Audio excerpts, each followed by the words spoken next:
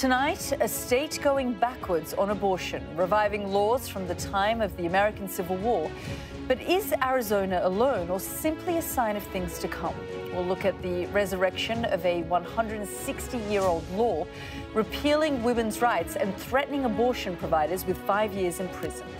Both Democrats and Republicans have expressed outrage with Donald Trump telling the state it's gone too far. Mr. President, did Arizona go too far?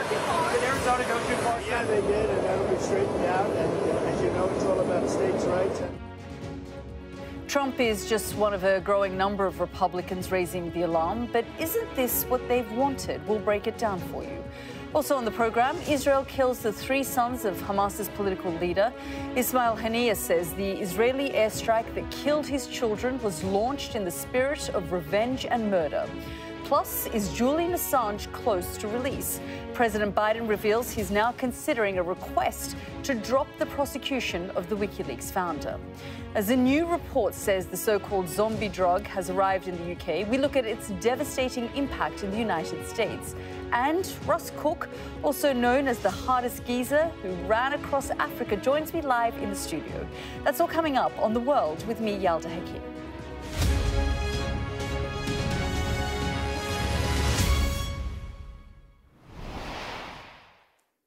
Good evening. In the state of Arizona, people are in a state of shock. They're coming to terms with the fact that the Supreme Court just gave the green light to the return of a law dating back 160 years that will ban nearly all abortions. The move has been described as a disaster for women and a draconian decision.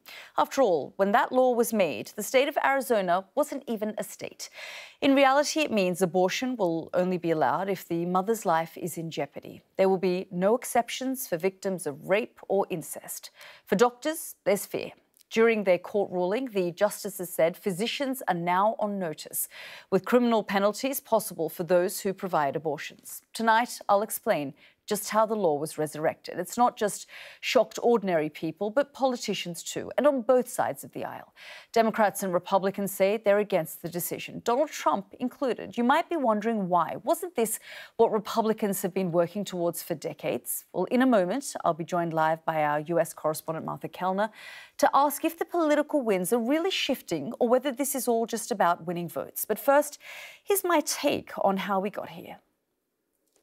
The state of Arizona just revived a ban on nearly all abortions under a law dating back to 1864. A time when women didn't have the vote, the country was at civil war, and Arizona wasn't even a state. It's prompted a major backlash.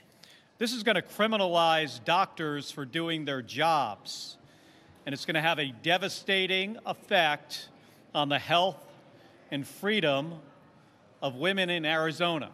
So, how and why has Arizona gone back 160 years? Well, the old law has never actually been repealed.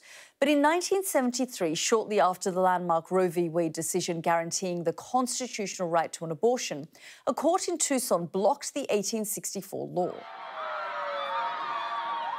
Then, when the US Supreme Court overturned Roe v. Wade in 2022, the then Arizona Attorney General, a Republican, convinced a state judge to lift an injunction blocking its enforcement. Since then, there's been months of legal wrangling about whether the old law could be enforced after years of dormancy. Last August, Arizona's top court agreed to review the case under pressure from a right wing law firm, Alliance Defending Freedom. And on Tuesday, in a 4 2 ruling, Arizona's state Supreme Court said the 1864 law was now enforceable because there were no federal or state protections for the procedure. So the debate over abortion rights back in the headlines and sure to be a major issue heading into the election. Could this time be different, though? And I asked the question about whether this time things could be different because Republicans, even in the state of Arizona, are now saying they don't back the decision. And while the presidential nominee, Donald Trump, is also, uh, it seems, changing his tune. Just take a listen to what he said in 2016 during an interview. What should the law be on abortion?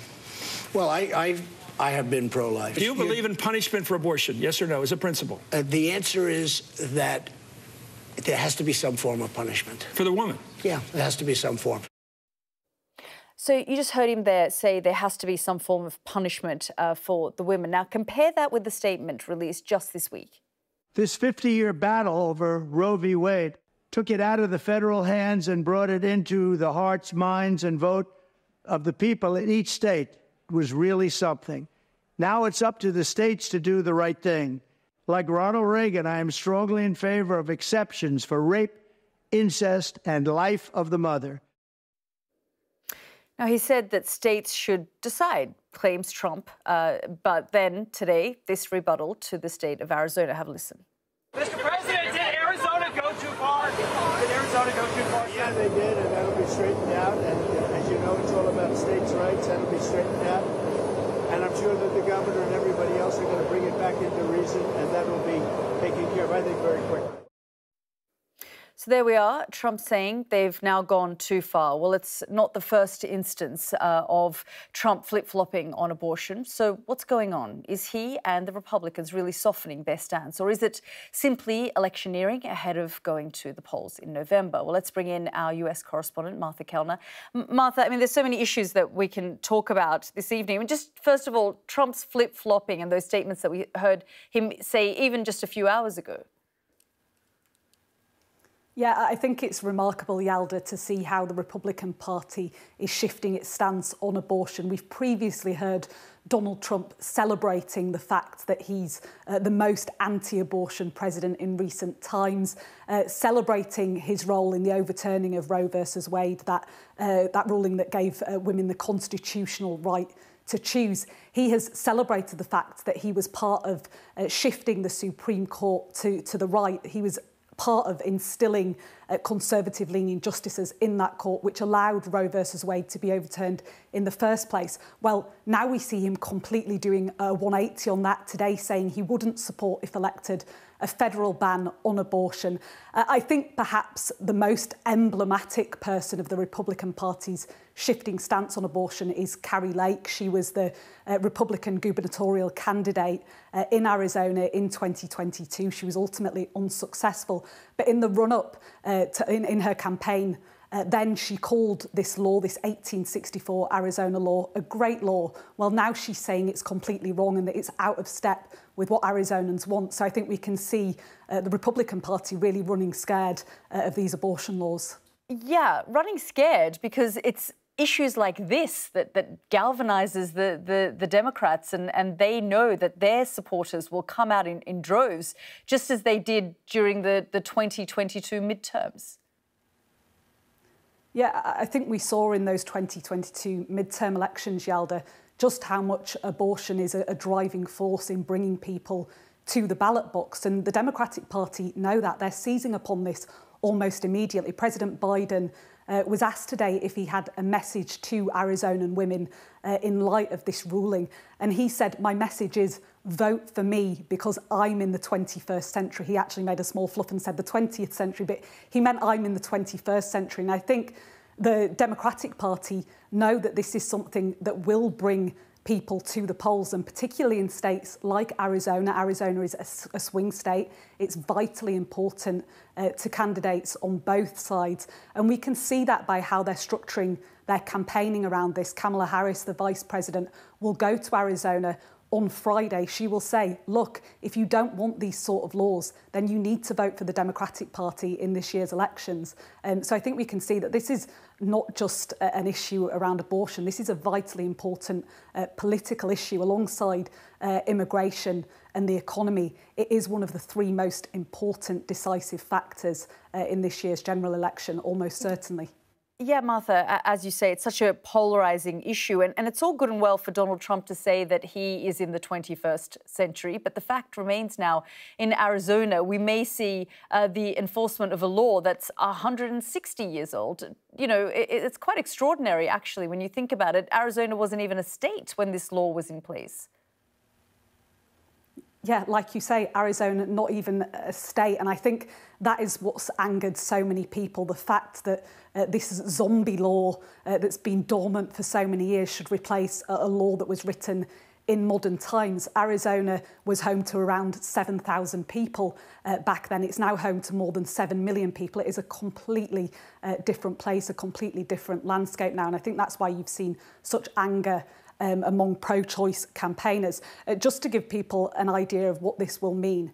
After Roe versus Wade was overturned in 2022, uh, Arizonans had the right to access abortion up to 15 weeks uh, of pregnancy. So there were already restrictions, but this makes it a heck of a lot more restrictive. This is effectively a, a total ban on abortion, except in cases where the mother's life is at risk. Of course, women can travel to neighbouring states which have uh, more abortion-friendly laws, places like California, uh, like Nevada.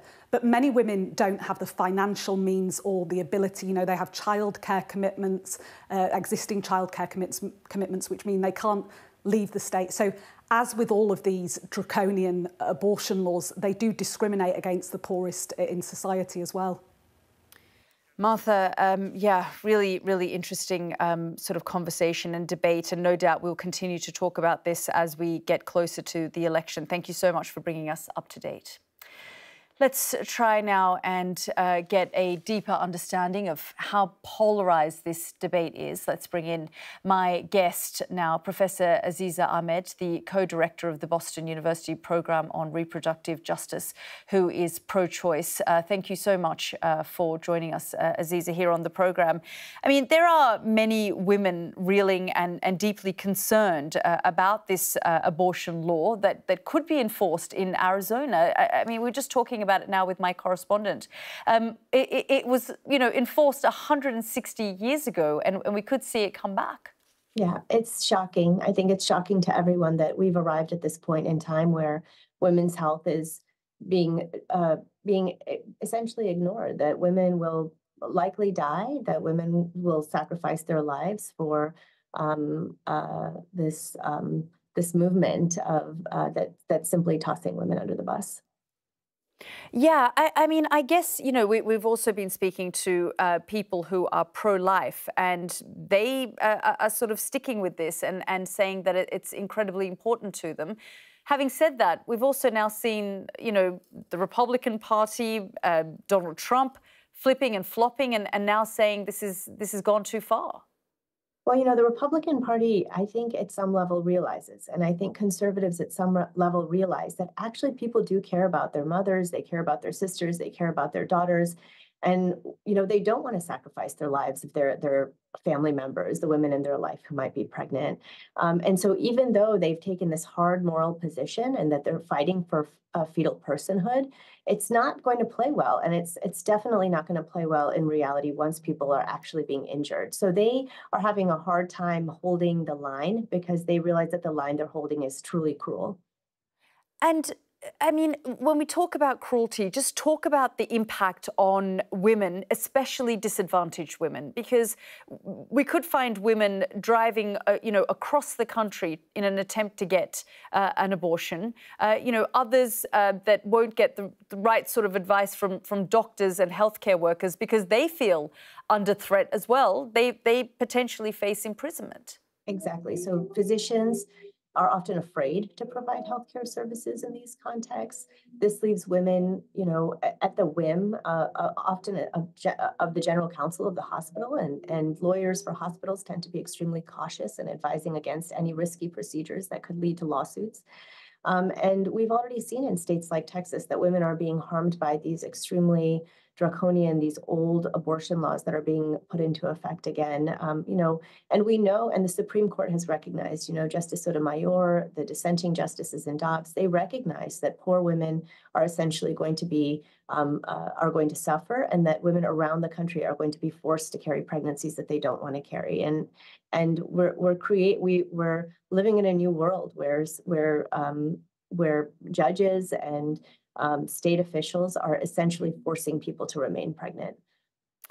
Aziza uh, Ahmed, we'll have to leave it there, but thank you very much uh, for joining us uh, on the programme. And uh, I'd just like to let our audiences know that we were uh, hoping to speak to someone who uh, is pro life, but unfortunately that interview fell through.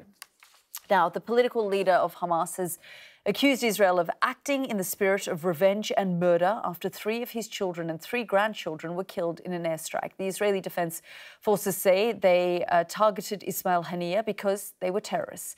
Uh, the strike came as Palestinians across Gaza were marking the end of the holy Muslim month of Ramadan, with no respite from fighting in the region. Eid is typically a joyful day for Muslims around the globe, but for many in Gaza this year, it's a day of mourning, amongst fears that Benjamin Netanyahu could still send troops into Rafah.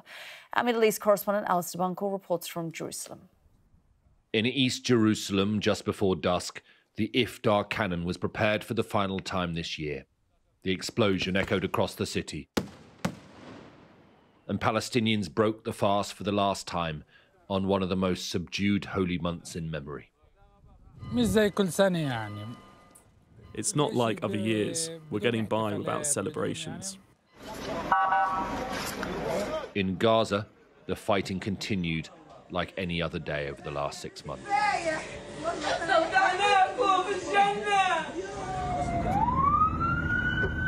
As Ramadan was drawing to a close, dozens were killed. These children were rushed by ambulance to hospital. Today, the Israeli military confirmed it had killed three of Ismail Haniyeh's sons in Gaza City. This is the moment the Hamas leader found out. Haniyeh lives in exile in Doha. He said Israel is deluded if they think that this would put pressure on Hamas to agree a deal. Even in Gaza, amid the darkness of war, the colour and joy of Eid can bring a brief respite from months of fighting.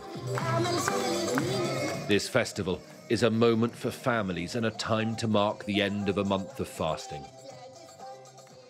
But in Gaza this Ramadan, families have been torn apart, and the decision to eat or not wasn't always a choice when hundreds of thousands were starving.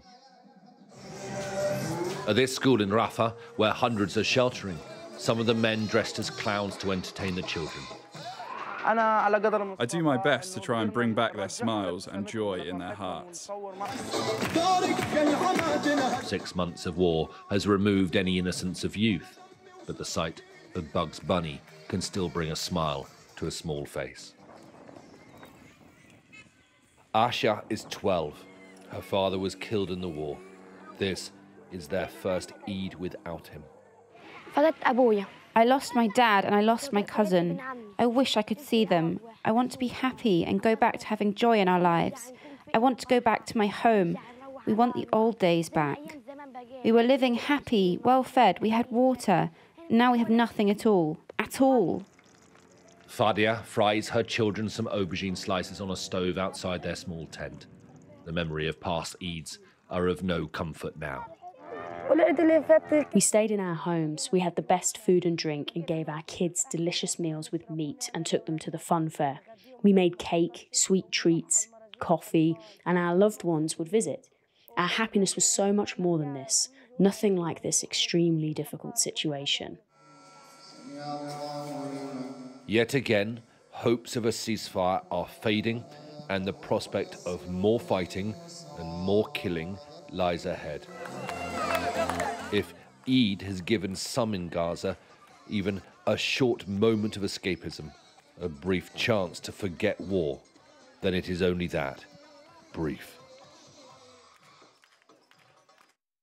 And Ali joins me now. And Ali, as you say, um, you know, the respite, uh, the the uh, moment of some kind of uh, peace for the people of Gaza, if it's Eid, as you say, it's brief. But I just, before we go into um, Eid in Gaza and, and across the region, I mean, extraordinary to see Ismail Haniyeh's reaction there to his family members being killed.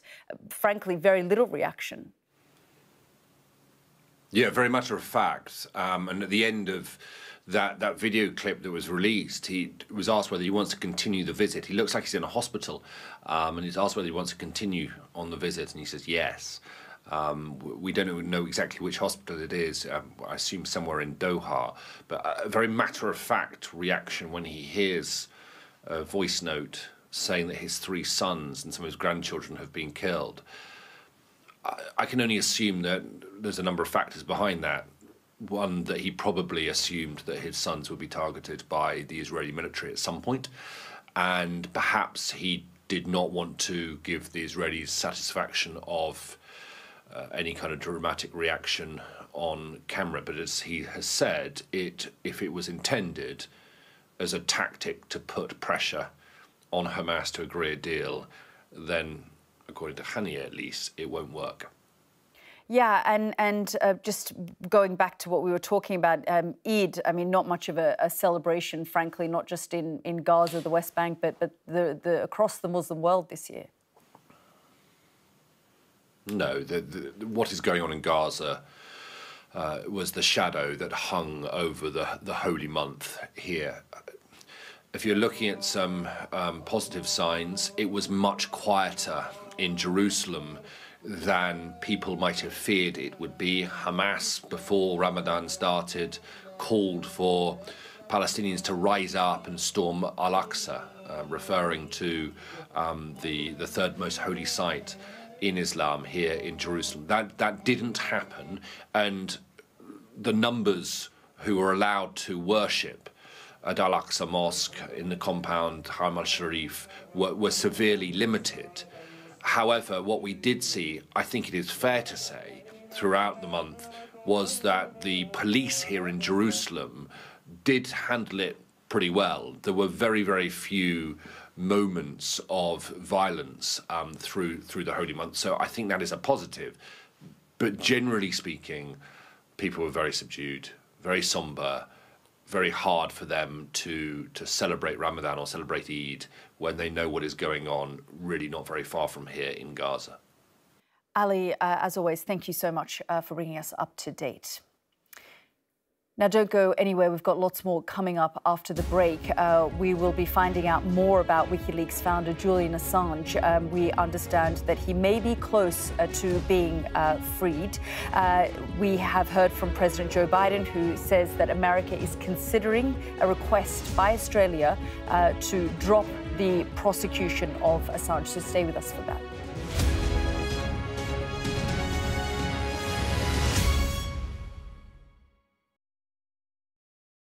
In order to affect policy change, we need good scientific foundation for our campaigning work. And so I'm very pleased to say that Andrew Knight and Emily Davis reviewed 42 pieces of published scientific peer-reviewed literature looking at the health and welfare of tigers, in particular kept in circus environments. Um, they looked at several things. They looked at their nutrition, their environment, behavioural interactions, their health and their mental health too. And they found that all of these were unsurprisingly compromised by the small enclosures, the constant travelling, the inaccessibility of, of, proper food, as you've mentioned, the exposure to loud noises and, and crowds, exposure to other animals too. Um, and this was very clearly, as a result of their uh, you know, investigation, not an environment where we should continue to keep tigers. Now, obviously in the UK, um, this has been phased out, but I'm very sad to say that across Europe, we still see a large number of big cats being kept in circuses, and it's a, a serious issue. Well, constant campaigning over many years, lots of agencies got together and pointed out the inadequacies of you know our ability to keep animals when they were traveling like this. Um, they're significantly compromised. So you know when you think that a tiger, for instance, in the course of its day in the wild would roam over 50 square kilometres, um, and its exercise uh, area when it's in a travelling circus is a few square metres, it was never going to work. And you know Wales jumped first, and then we had changes in um, Scotland, Northern Ireland England the last to move, but we're not going to see wild animals in travelling circuses in the UK. But as I say, unfortunately, in Germany and France, in Spain, these are still very common. And some of these animals um, end up in the UK because they're being rescued. Um, we see that they have been declawed. The mutilation of, of, of, of circus uh, animals is also frequent. They cut their claws off to make it safer, of course, when they're handling them. They saw their teeth off, and this instigates long term health difficulties.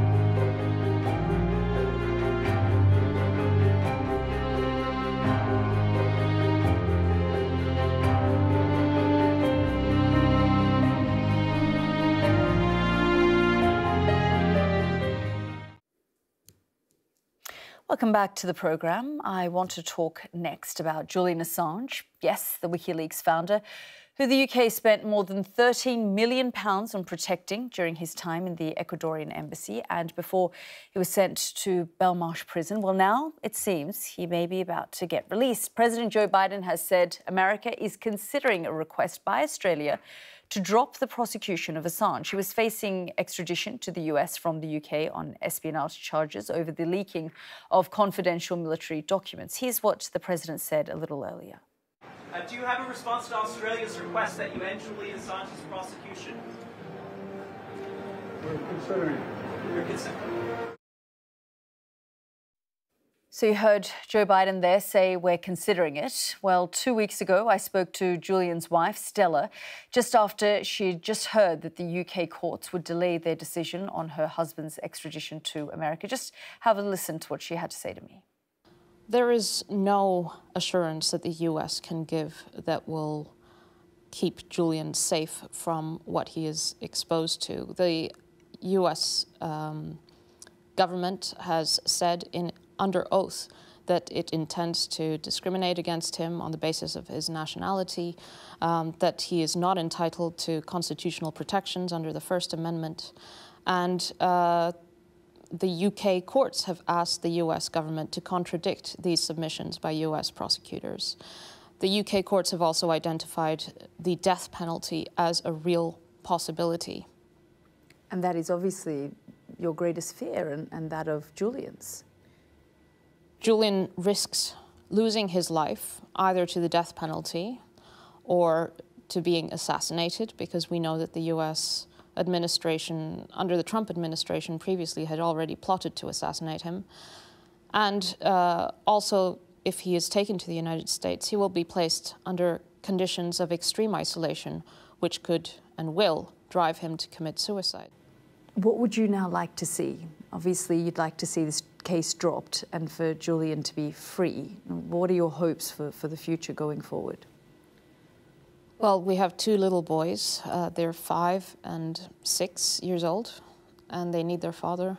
Every day that Julian is in prison is a day that they're deprived of their father, and their father's love and affection and guidance. That was uh, Stella Assange speaking to me uh, a few weeks ago. I'm joined now in the studio uh, by Kristinn Hrafnsson, the editor in chief of WikiLeaks. Thanks very much, Kristinn, for, for joining us here on the programme. We're just hearing there uh, from uh, Stella Assange, someone you know very well, you've worked very closely with. I mean, she talked about the fact that his life would be at risk if he was extradited to the United States. Extraordinary tonight that we're hearing President Biden saying that they're considering it. They're considering dropping the prosecution.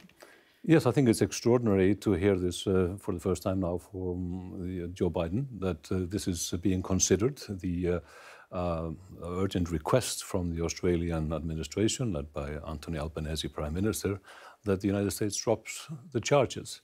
Of course, we uh, will uh, hope to see in the coming days, and I hope the press corps in the White House and in the halls of power in Washington, D.C., to get clarification of what this means. But the consideration is, is, is a good step. Uh, I would say, of course, the natural outcome of that consideration is to drop the charges. This is a case that should never have been brought in the first place. You say never should have been brought in the first place, but what we see now is 10 years of this and I mean, just when you look at uh, the protection, police protection that was provided uh, at the Ecuadorian embassy, 13 million pounds was spent. And, and we've seen 10 years of this. Julian Assange, five years in, in prison. It's quite extraordinary to now reach this point. Yes, it's extraordinary that, that all this money was spent on keeping uh, Julian inside uh, the embassy where he sought legitimately asylum and was granted asylum by the then President Rafael Correa. Uh, so you cannot blame that cost on Julian Assange. You should question your own government for why they spent all this extraordinary amount of money on this. Uh, why now? Well, it's not been more than 10 years. It's been 14 years, seven years inside the Ecuadorian embassy in uh, the center of London behind Harrods. And now, tomorrow, April 11th, will mark a five-year anniversary of uh, his uh, stay in Belmarsh prison. He's been locked up an innocent man for five years tomorrow. The US government, um, various administrations said that what Julian Assange did put many lives at risk. The fact that he released all of these documents. I mean, you are uh, now, you know, running WikiLeaks. What, what's your view on it? What are you guys working on now? What are you doing? Well, uh, putting lives at risk is an empty, are empty words, and uh, you don't have to take my word for it. Actually, the witness from the Pentagon in the uh, trial of Chelsea Manning before court-martial had to admit in that those proceedings that they had no instance of any bodily harm being uh, as a result of, of the publication of the material based on her uh, whistleblowing leaks. So there has not been any harm. The only harm is to the reputation of the United States because uh, Julian Assange and WikiLeaks exposed war crimes and wrongdoing, exactly what journalists are supposed to do. Chelsea Manning uh, has been treated quite differently to, to Julian Assange. Would you agree with that? Well, her, her sentence, she was sentenced to 35 years in prison. Her sentence was commuted by the uh, Obama, uh, when he left office, President Obama.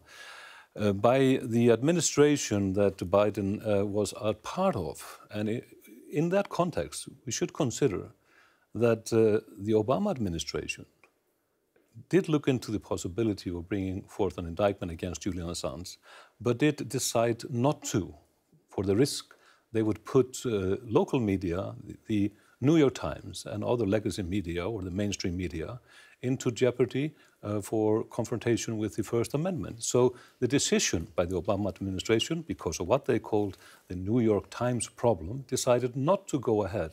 It was Donald Trump's administration that brought the charges against Julian. And that is the legacy that Biden has now been uh, stuck with. And the only thing to end this political, politically motivated persecution, because there's no doubt in my mind that Julian is a political prisoner, is to take a political decision to end this.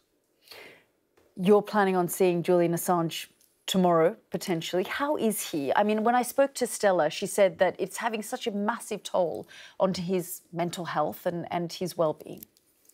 Well, you, anybody can imagine what kind of an uh, effect it has on an individual to be locked up in this uh, maximum security prison here in southeast London for five years after having spent seven years in a small apartment that was the embassy of Ecuador. Of course, it has taken a toll, and the medical evaluation that has been presented to the courts here in the extradition proceedings um, confirmed that and have, has not been contested. He is in a very dire situation, and uh, this situation has to come to an end because five years are five years too many, and we need to end this now. Kristinn, uh, thank you so much for joining us here in the studio. Thanks for having me. Now, don't go uh, anywhere. We've got much more coming up uh, after the break. We'll be speaking to our US correspondent Mark Stone about a powerful animal tranquilizer which has plagued cities in the United States and it's now made its way to the UK. Stay with us for that.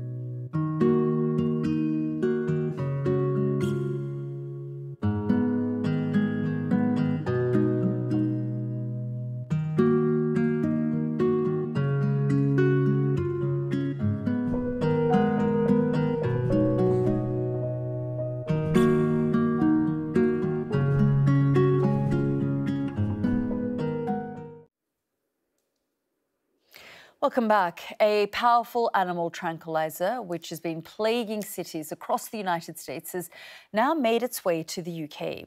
Xylazine, dubbed Tranq or the zombie, uh, zombie drug, rots the skin of those who use it and was designated as an emerging threat by the White House. Researchers at King's College London have found it's now circulating in the UK's illegal drug market and has already been linked to one death. Well, let's go straight to our US correspondent, Mark Stone, who has seen the impact of the drug firsthand in Philadelphia last year.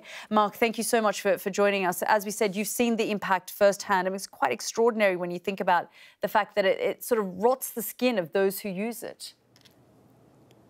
Yeah, it's it's truly awful. it, it is an animal tranquilizer. It's cut uh, with other drugs uh, here in America, predominantly fentanyl, uh, which is the the drug of the moment uh, in cities across the United States, uh, and the impact it has is devastating. I have to say, I'm not surprised at all uh, that it is now being seen in the UK. When we were first looking at the impact of this drugs, this drug uh, in America, uh, officials, uh, state level officials, were in Philadelphia already saw it, saw themselves as the canary in the coal mine. They were advising other cities across America, and they told us that that they would be happy to advise advise other countries as well because there was no question it would it would get there there. Have a look at, uh, this reflection um, of, a, of a film we made almost exactly or just over a year ago in Philadelphia to get a sense of the impact this drug is having.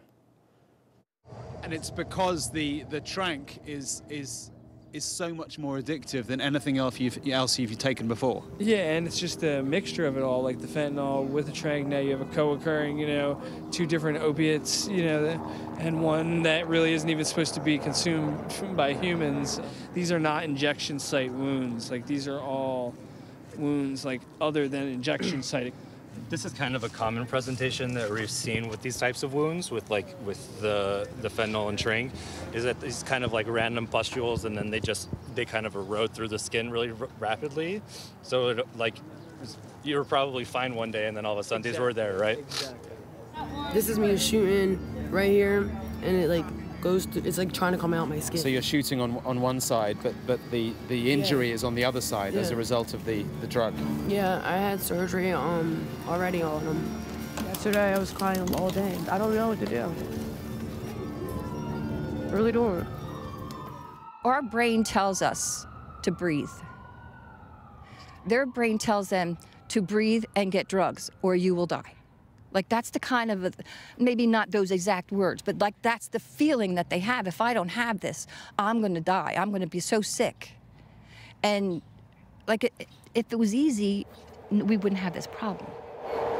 Every day that I'm out here longer, it's another piece of, you know, my values, my soul, my yeah, essence of who I am is getting lost. You get what I'm saying? Yeah. So yeah. it's like, how much can you take? And then you see these people here that are just a shell. There's just nothing there anymore. You just and you know that you know they are living two minutes at a time of their life, like just to get that use, and that's all that matters. And I'm so lucky that there's still more of me left, and it's literally decimating the American youth. You know, it's just a uh, quiet killer going on right now. I mean, Mark, that, that's so disturbing uh, to see. And, and, as we were saying, the White House has said this is an, an emerging threat and, and it's already entered uh, the illegal drug trade here in the UK. Um, and I guess, uh, you know, it's unclear whether, whether this country is ready for it. It doesn't feel like the United States has fully grappled with it. Uh, not at all. The United States uh, has not grappled with it. They haven't even grappled with the fentanyl crisis. And and uh, and be clear that what we're seeing now is, is fentanyl cut uh, with with xylazine, creating this this this cocktail tranq. Uh, and uh, the reason that fentanyl is being cut with tranq, what the, the reason dealers are doing that is because tranq is much cheaper. It's sorry, xylazine is much cheaper, easier to get hold of, and so increasingly the, the, the uh, experts are finding that the, the, the, the, breakup of the drug that people are taking, there's much more tranq in it than there is fentanyl because the fentanyl is, is, is harder to get, get hold of. And that's what's happening uh, in the UK as well. And I spoke to, to, to Ronnie, who you saw in that little clip there uh, from Angels in Motion, this extraordinary charity doing what they can. And she said that in, in Philadelphia now, um, the, they are discovering uh, those people that come in for treatment, uh, the, the drug that they are taking is almost completely completely xylazine, very little uh, of any other uh, more regular street drug uh, within the concoction. Uh, and as you saw, it, it's when they inject it, the, the wounds are in a different part of, the, of, their, of their body, often the opposite side of the limb uh, that they're injecting. And the the medics just don't know how to treat these wounds. Uh, it's it's absolutely frightening. I mean, it, it's clear to say that, that Britain is no nowhere near in the state that that, that America is in. Um, but if you see how quickly it's spread across America and how addictive it, it is. Uh, I think British and European health authorities need to to sit up and get advice from their their counterparts over here. Yeah, indeed. Uh, Mark, thank you so much uh, for your reporting there.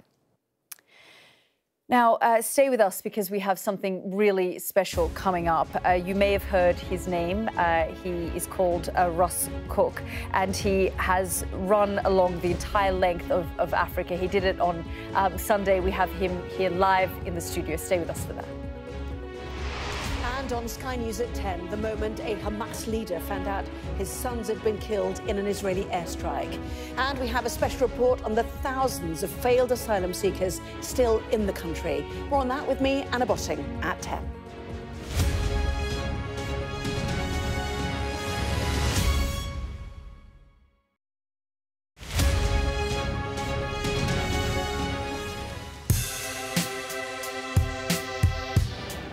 Martin Brunt, and I'm Sky's crime correspondent. My most memorable story was, and still is, the disappearance of Madeleine McCann. Please, please do not hurt her. Please give our little girl back. We aim to be the best and most trusted place for news. For detectives, the first 48 hours after a murder are crucial in the search for clues. The public expects them to find Jill Dando's killer soon. The British detectives are planning to meet forensic experts, academics and even witch doctors. I remember the grimmest case, the Soham murders of schoolgirls Holly and Jessica. I felt I can't undo what's happened, but I can help explain it. Ian Huntley was arrested and charged within a fortnight of the murders. I've never murdered anyone. I've never raped anyone. What am I in jail for? The parole board has to decide if Bronson needs to be kept locked up for the safety of the public. My biggest challenge was to persuade a jailed diamond thief to answer my letters. Martin Brunt, Sky News, at the Old Bailey.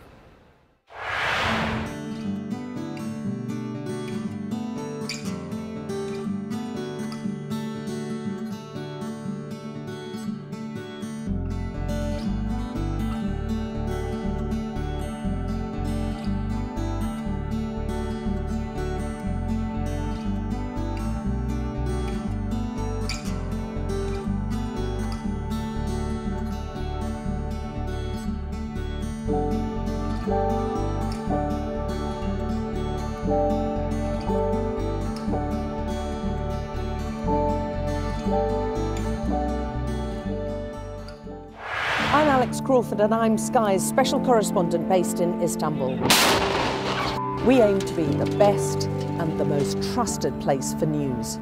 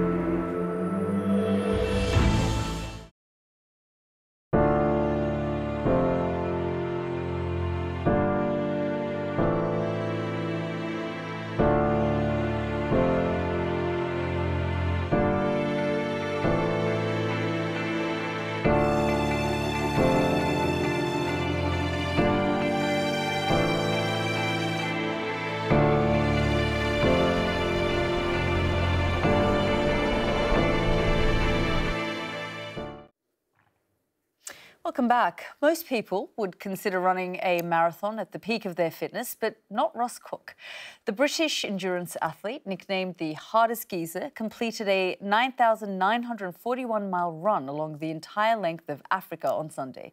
It's taken him nearly a year to do it, and he's raised over £870,000 for charity during the epic challenge. Well, I'm glad to say the hardest geezer joins me now live in the studio. Hi. Hi, so Hi, good to see you. I mean, it, it's taken you a year to get to our studio. That's how long the, the run was. Yeah, How are you? I'm great. Yeah, no, I'm buzzing to be back. Um, just yeah, loving being back in the UK. And in that time, I mean, did you, when you went out, was your beard this long or? Wasn't no the the barnet is a bit of a mess right now. Do need. I'm just looking at myself there. Wow. yeah, no, I'm gonna get a haircut imminently. I think bad. I mean, just just tell us first of all. I mean, this isn't the first time you've done something sort of like this. Y- No. y- y- you know, why did you decide to do it? I mean, you, you did it basically for charity, right? Yeah, yeah, yeah. I mean, uh, a, a big reason is the, is the charity. We've obviously raised 170 grand for charity now, which is uh, which is wicked.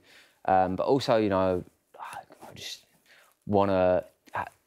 When I'm an old man, I want to be able to look back and say I had a tear up and that I made the most of this life and want to have stories for the grandkids and all this kind of stuff. So, just you know, trying to get about it as much as possible, really. Okay, so tell us where you started and where you ended up and what was going through your mind when you were doing it. So I started at the most southern tip of the continent in South Africa, uh, Cape Agulhas. Ended up in Tunisia, the most northern tip of Africa, in uh, Ras Angela, I believe it's called. And yeah, I mean, that we had so many challenges, hurdles to overcome. You know, Congo rainforest, Sahara desert, loads of countries, 16 countries. So there was always something to be thinking about or a problem to solve. So I was mostly thinking about that a lot. Um, but you know, I was on long runs every day, so I'd be thinking about all sorts, to be honest. Mostly on your own? Yeah, yeah, pretty much like 99.9% of it was on my own, yeah. Yeah, and uh, you know, it wasn't all without its. You talked about some of the challenges, but we're talking Mm. about robbery as well, a- Yeah. a visa issue. Uh, Yeah, Talk yeah. us through that. Uh, yeah, so w we were robbed at gunpoint in Angola. Um, we've, we had a few different visa issues, lost passports, and um, couldn't get into Algeria. It was, but we managed to get that solved in the end. With we put the thing out on social media, and loads of people came to help us. And then it ended up the president of Algeria sorted us out a visa, which was incredible. And we had a, such a great time in Algeria as well. Um, so yeah, like it was so much happened. I can't lie, it was crazy. I mean, it kind of slightly reminds me of sort of Forrest Gump, where Yeah, he said, yeah. you know, for 365 days, I just, I just ran. Yeah. Were you just running the, the entirety of the time? Or were you having, were- you were obviously having moments to, to sleep and eat as well. Yeah, yeah. No, so I'd um, I ran on average 46 kilometres a day um, throughout the whole year. So, basically a marathon every day. yeah, slightly more than a marathon a day. Um, but then you know, in between that, we we we were putting loads. Of, we were making like content and stuff. So we were doing stuff on social media and making YouTube videos and documentary and like had a team. So there's loads going on. Um, but yeah. Any moments of, of sort of regret where you sort of midway you thought, what, what am I doing and am I going to finish this? yeah, I mean, there was. I think I was, at, I was speaking to the guys at the running charity earlier, and I was like, actually, for like the the last seven months were so brutal. I was like, in my head, it, I, was, I was finding it hard to conceive of this thing ever ending. I was just wait, you know, wake up, run, eat, sleep, run, and you know, every now and again the country would change. Or like, oh, now I'm in the desert, but it kind of felt like this elusive thing. I was on the road for so long that that this finish line was just like some mystical object that I was never going to get my hands on. But time's relentless, and you know, here we are. And uh, sort of what aspect or part of the rain, uh, uh, uh, the run, did you sort of really enjoy and, find really kind of, you know, so much, you know, like there there was I think one of the best parts was the amount of people that we met that were just so kind to us, um, sh- like sharing those cultures, learning about all these different parts of Africa that like not many people really ever go to, um, was really cool. And you know, every country we went to, there was people that would you know either take us into their houses or feed us or help us out with X, Y, Z things that we had going on, which was like really incredible um, experience to be able to like see that kind of humanity everywhere. You know, it's it's a beautiful thing. And what about the impact on your body? I mean, did you have a, a doctor uh, with you, uh, or, or, you know, were you sort of doing anything to sort of repair your body every day? Because it is, as you say, just a little over a, a marathon day. Yeah. Um, nah, no doctor. Uh, my body is my body. I've had three days of not running now, so my body feels quite all right. But that for the whole year, my body's been messed up. Um, had injury, every injury you can imagine.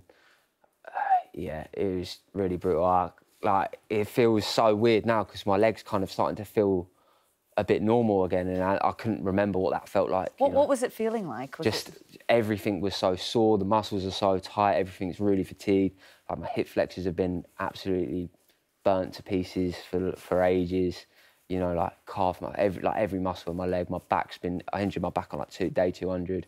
Never really recovered. So, yeah, it was painful. Can't lie. Very painful. And what about your, your family, your friends, your girlfriend? Yeah. Uh, uh, you know, when you were robbed, were, were, they sort of saying to you, you know what, just come home?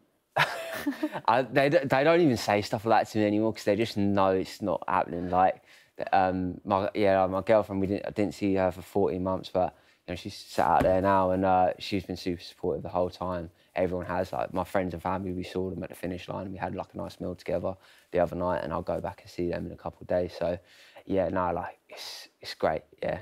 There were a, a bunch of supporters actually close Yeah. to the finish line. They, they ran that last bit with you, including Yeah. our our sports uh, Uh, Rob, reporter, yeah, Rob yeah. Harris. Yeah, I'm just going to show show that picture of Rob trying to interview you. Uh, as you as you uh, ran, uh, yeah, we could see you there with the go. mic. what a man. um, it, we, we sort of you suddenly got there, and all these people are there, including the press. Yeah. Did you realise that there was this momentum Nah, building? not a clue. Like I couldn't believe it when I rolled up there. So many people, um, yeah, cameras and loads of people asking questions.